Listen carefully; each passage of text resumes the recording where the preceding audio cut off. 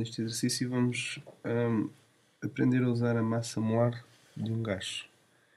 E vamos usar a fórmula para a massa molar. A massa molar é igual à massa do, da substância a dividir pelo número de moles.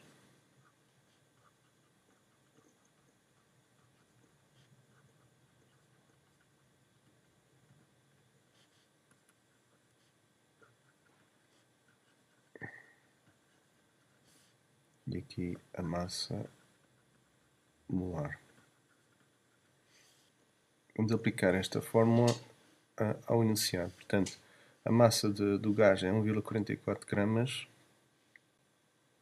e sabemos que existem 0,03 mol de quantidade de substância. Nesse caso, vamos usar, queremos saber a massa molar, temos a massa do, da substância, gramas, e dividimos pelo número de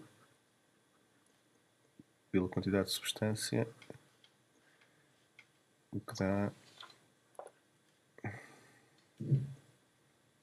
massa molar da substância igual a 48 gramas por mol.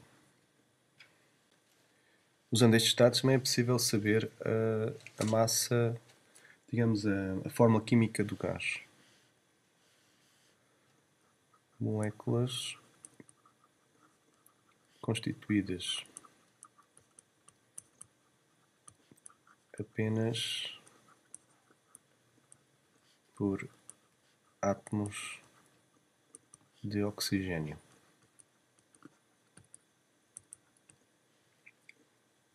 Sabemos a massa molar, portanto sabemos quantas moles de moléculas temos e também conseguimos saber qual é a massa molar, ou seja, a massa molar do oxigênio, só apenas do átomo oxigênio, uh, e nesse caso temos que ir à tabela periódica buscar a, a massa atómica relativa. Portanto, se formos à tabela periódica, vemos que a massa atómica relativa do oxigênio são 16 gramas por mol.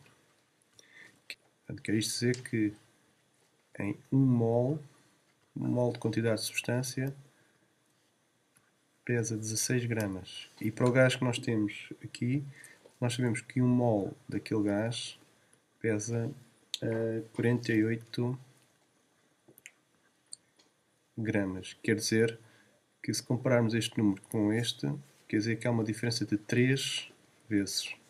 Quer dizer que a nossa molécula é constituída por três vezes, três vezes mais átomos do que uh, o átomo de oxigênio apenas.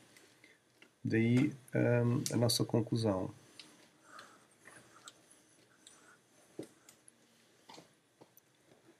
A forma molecular terá que ser O3. O gás identificado é o ozono, três átomos de oxigênio ligados. Uh, e existe na, em toda, existe na atmosfera uh, até à estratosfera. Uh, na estratosfera tem a função de nos proteger, sobretudo, dos UVs, enquanto que na troposfera é responsável pelo nevoeiro fotoquímico, o smog. Portanto, podemos falar de um bom ozono e de um mau ozono. Portanto, um bom ozono estratosférico e de um mau ozono troposférico, que em, em concentrações elevadas é tóxico para o ser humano. Os valores para que o ozono tenha uh, efeitos nocivos é acima de concentração mássica de 150 microgramas por decímetro cúbico, uh, portanto, valor muito, muito pequeno, e para um, frações uh, mássicas em partes por milhão da ordem de um, partes por milhão da ordem dos 0,03 ppm.